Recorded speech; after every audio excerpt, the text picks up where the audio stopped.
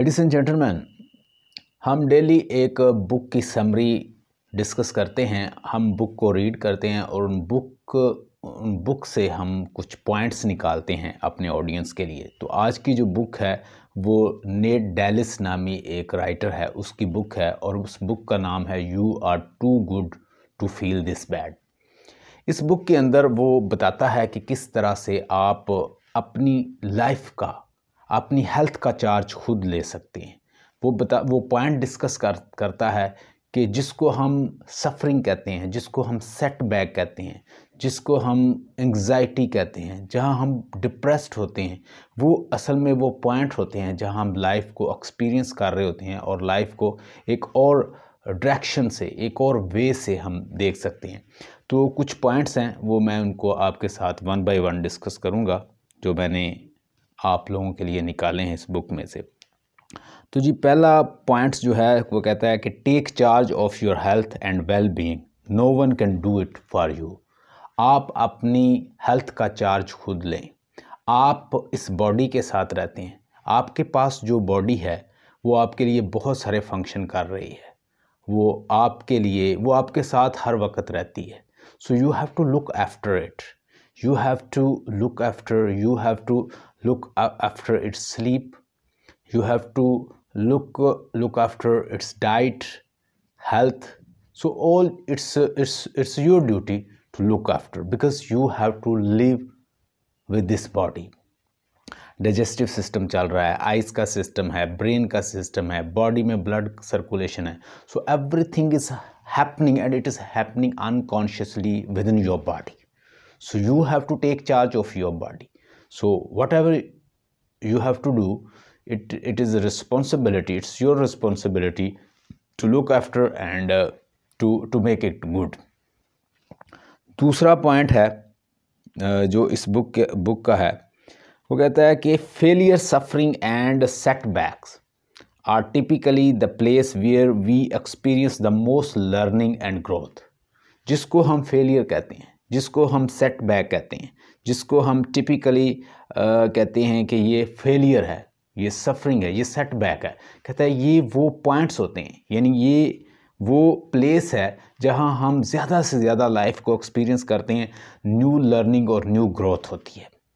अगर आपकी ज़िंदगी में सेटबैक आ रहे हैं, अगर आपकी ज़िंदगी में फेलियर आ रहा है, अगर सफरिंग आ रही है डिप्रेशन आ रही है एंगजाइटी आ रही है, या आप इतने मसाइल से गुजर रहे हैं तो वो मसाइल वो सेटबैक वो failure these are the places where you have to experience life where you have to improve your growth where you can get growth learning and new way of thinking life अगला point है, वो कहता है we create we create lasting change by taking control of the thing that control our behavior behavior we modify input we modify our input to improve output अगर आप जैसी input देते हैं वैसे आप आउटपुट ले आते हैं तो वो चीज़ें जो आपके बिहेवियर को कंट्रोल कर रही होती हैं अगर आप उनके ऊपर चार्ज हासिल कर लेते हैं या उनको आप चेंज कर लेते हैं बुरे बिहेवियर बुरे वो जो आपको बुरा बिहेवियर दे रहा वो कॉजेज़ वो आ, मतलब चीज़ें जो आपके बिहेवियर को मैनिपुलेट कर रही हैं अगर आप उनको कंट्रोल कर लेंगे तो आप बड़ी हद तक वो कह रहा है कि आप अपनी आउटपुट को ठीक कर सकते हैं। So whatever input you give to yourself same kind output you are going to get हम अपने बॉडी में हम अपने बॉडी से या अपनी फाइव सेंसेस से जैसी जैसी चीज़ों का एक्सपीरियंस करते रहते हैं, जैसी जैसी थॉट हम सोचते रहते हैं, वही एक्शन अल्टीमेटली हम करते हैं। तो जैसी इनपुट हम देंगे मतलब इन्फॉर्मेशन ऐड करेंगे अपने ब्रेन में तो वैसी ही आउटपुट आएगी। Purify your input and get a good output अगर आप इनपुट का मतलब होता है अपने आप को अच्छी इन्फॉर्मेशन देना, अच्छी सोच देना, अच्छी अफर्मेशन देना, अच्छी थॉट देना तो उसका आउटपुट भी अच्छा आएगा। आगे एक और बड़ा ज़बरदस्त पॉइंट वो बताता है। आगे वो बताता है जी कि makes make no mistake poor sleep always negatively affect the mind body and spirit अगर आप अच्छा अच्छी तरह सोते नहीं हैं आपकी स्लीप पुअर है मतलब आप अच्छी तरह नहीं सो रहे तो उसका एक इम्पैक्ट होगा कि वो आपकी माइंड को बॉडी को और स्पिरिट को मुतासर कर सकता है। There is no escaping this truth so if you are serious about living you must be serious about sleeping अगर आप सीरियस हैं लिविंग के बारे में अपनी ज़िंदगी के बारे में। आप चाहते हैं कि मैं एक हेल्दी वेल बीइंग के साथ हेल्दी वेल्दी और energetic life गुजारूं then you have to look after your sleep you have to think about your sleep you have to take proper sleep proper sleep आपके बॉडी को healthy बना सकता है और ये बड़ी अच्छी बात है क्योंकि ये आपको एक्टिव बनाता है। आप मुस्तैद होते हैं आपकी एनर्जी जो है वो बढ़ बढ़ जाती है। आप ज़्यादा चीज़ों को आसानी से समझ सकते हैं अंडरस्टैंड कर सकते हैं। कॉन्शियसनेस ज़्यादा से ज़्यादा आएगी अवेयरनेस ज़्यादा से ज़्यादा आएगी। आप मुस्तैद होंगे आप तेज़ होंगे आप चीज़ों को आसानी से कर सकेंगे और ज़्यादा अंडरस्टैंड अच्छी तरह से कर कर सकेंगे। आपकी मेमोरी भी मज़बूत होगी। सो so, अगर आप अपनी हेल्थ के बारे में अच्छा रहना चाहते हैं हेल्दी वेल्दी और स्पिरिचुअल रहना चाहते हैं तो आपको अपनी माइंड बॉडी और स्पिरिट के बारे में सोचना होगा। उसके बाद कहता है प्रॉपर स्लीप क्या करता है? अगर आप प्रॉपर स्लीप करते हैं तो उससे क्या होगा? Make you live longer and look more attractive आप अट्रैक्टिव नज़र आएँगे हेल्दी नज़र आएँगे और आप अच्छे नज़र आएँगे। और आपकी लाइफ लंबी ज़िंदगी होगी। इंक्रीज़ योर मेमोरी आपकी मेमोरी बढ़, बढ़ती है। फोकस और मेंटल ग्रोथ कॉग्निशन होती है। आपकी कॉग्निशन जो है, वो दूसरे बंदे से ज़्यादा होगी। अगर आप अच्छा सोते हैं अच्छा अच्छी स्लीप लेते हैं। प्रोटेक्ट यू फ्रॉम कैंसर बड़ी ज़बरदस्त बात है। वो कहता है कि अगर आप सोते ठीक तरह से हैं, आप प्रॉपर टाइम अपनी स्लीप को देते हैं प्रॉपर स्लीप लेते हैं, आप अच्छी तरह से सो रहे हैं, वक्त पे सो रहे हैं और वक्त पर उठ रहे हैं, उसका फ़ायदा क्या होगा? Protect you from cancer, dementia, कि इंसान भूल जाता है। डिमेंशिया और अल्जाइमर दो डिज़ीज़ ऐसी होती हैं जो तकरीबन सेवेंटी सिक्सटी सेवेंटी में मोस्टली हुआ करती थी। आजकल लोगों को फिफ्टी और फोर्टी फिफ्टी के बाद हो रही हैं। तो ये क्या है? मसलसल हम जब माइंड को टायर्ड रखते हैं और कंटिन्यूसली सोशल मीडिया पर रहते हैं, सोते नहीं हैं प्रॉपरली तो उससे डिमेंशिया हो जाता है। डिमेंशिया मीन कि आपको क्या होता है कि आपको भूलने की बीमारी लग जाएगी। ठीक है? तो वो लोग जो बंदे प्रॉपर स्लीप लेते हैं तो एंड कॉमन कोल्ड ये चीज़ें उसको नहीं होंगी। तो make you feel happier enhance your sex life so you can be happier contented sense satisfied and you can enhance your sex life lower your anxiety decrease your depression and improve your relationship आपकी decree anxiety को decrease करती है। वो इंसान जो psychologically और emotionally abuse है या डिप्रेस्ड है, वो बंदा साइकोलॉजिकल लेवल पे अगर बंदा डिप्रेस्ड है तो वो रिलेशनशिप में अच्छा नहीं हो सकता, क्योंकि वो छोटी छोटी बातों पे लड़ा, लड़ेगा। तो make you feel happier enhance your sex life and lower your anxiety decrease your depression and improve your relationship आपकी जो डिप्रेशन है जब इंक्रीज़ होगी तो आपके रिलेशनशिप अच्छे होंगे। अगर आप हेल्दी होंगे आप एनर्जेटिक होंगे आप आ, मतलब साइकोलॉजिकली हेल्दी होंगे तो आप अच्छी तरह लोगों को डील कर सकेंगे रिलेशनशिप इम्प्रूव होंगे कम्युनिकेशन अच्छी होगी speed recovery time and prevent injury आपका इम्यून सिस्टम अच्छा होगा अगर प्रॉपर होते हैं और इंजरी को आप जल्दी हील कर सकेंगे कोई भी हो। Make you feel more creative and better problem solver सबसे बड़ा मसला आजकल प्रॉब्लम सॉल्विंग है तो अगर आप प्रॉपर स्लीप लेते हैं तो प्रॉब्लम सॉल्वर अच्छे बन सकते हैं और क्रिएटिव प्रोडक्टिव और स्कूल कॉलेज यूनिवर्सिटी और कंपनी के लिए प्रोडक्टिव हो सकते हैं। उसके बाद वो कहता है कि मोस्टली कंपनीज़ जो हैं, वो शुगर जो हैं शुगर इंक्लूडिंग जितनी भी प्रोडक्ट्स होती हैं, वो उसमें ज़्यादा से ज़्यादा फ्लेवर अपनी प्रोडक्ट में शुगर के डालती हैं, क्योंकि वो जानती हैं कि जो कस्टमर हैं, वो ज़्यादा से ज़्यादा मीठे को खाना पसंद करते हैं। कहता है as a society we are addicted to sugar and the food companies knows it and they are happy to make you dependent on their product by adding copious amount of sugar and shoppings and the and shopping the perimeters of a store and generally much healthier than the and center aisles where highly processed food sits तो ज़्यादा से ज़्यादा process करके नए नए flavour डाल के आपको अपनी प्रोडक्ट के डिपेंडेंट बना देते हैं तो इनसे अवॉइड करना चाहिए।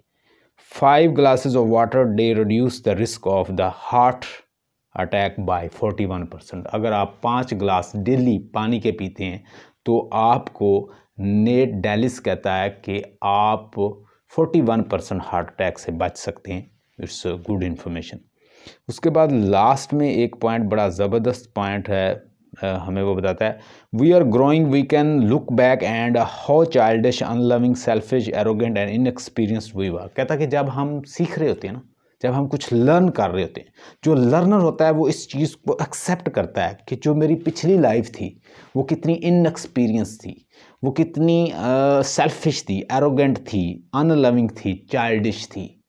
जैसे जैसे आप मेच्योर और एजड होते जाते हैं, जो पिछली लाइफ है वो आपको इनएक्सपीरियंस्ड चाइल्डिश और सेल्फिश और अनलविंग और अनकेयरिंग आपको खुद फील होता है कि ये चीज़ें मेरे अंदर नहीं थी जो मैंने सीखी हैं with the passage of time ageing factor के साथ, लोगों के से एक्सपीरियंस कर के साथ, दुनिया के साथ रेजोने रेजोनेशन के साथ, लोगों के साथ इंट्रैक्शन से बहुत सारी चीज़ें मैंने सीखी हैं जो जो अनकेयरिंग बिहेवियर था और चाइल्डिश था अनलविंग था एरोगेंट था और इनएक्सपीरियंस था तो जैसे जैसे ग्रोथ होती है तो ग्रोथ के साथ इंसान को ये ज़रूर रियलाइज़ होना चाहिए। इट शुड बी ग्रेटिफाइंग वो कहते हैं it should be gratifying not shameful to look back and see foolishness जो फुलिशनेस है हमारी, हमें उन्हें देखना चाहिए। It validates growth and progress ये हमारी ग्रोथ और प्रोग्रेस को वैलिडेट करती है, अगर आप ऐसा करेंगे तो। लास्ट में वो कहता है it is important to refrain from making big decision in a poor state अगर आप पुअर स्टेट में हैं तो आप कोई अच्छा डिसीज़न ना तो कर सकते हैं और ना आपको करना चाहिए। क्योंकि जब आप पुअर स्टेट में होंगे तो आप प्रॉपर डिसीज़न नहीं करेंगे। वो कहता है I am sad when I am sad जब हम, मैं सैड हूँ तो मैं क्या कर सकता हूँ? कहता है really see the thing accurate तो मुझे सी करेक्ट चीज़ें नज़र नहीं आएँगी। मैं कभी एक्यूरेटली नहीं देख सकूँगा। When I am tired I take lazy approach जब मैं टायर्ड हूँ तो लेजी अप्रोच होगी मेरी। वैन इम्पेशेंट अगर मैं इम्पेशेंट हूँ तो I choose what is expedient instead of what is wise तो मैं एक्सपीडियंटली डिसीज़न लूँगा और वाइज डिसीज़न नहीं होगा।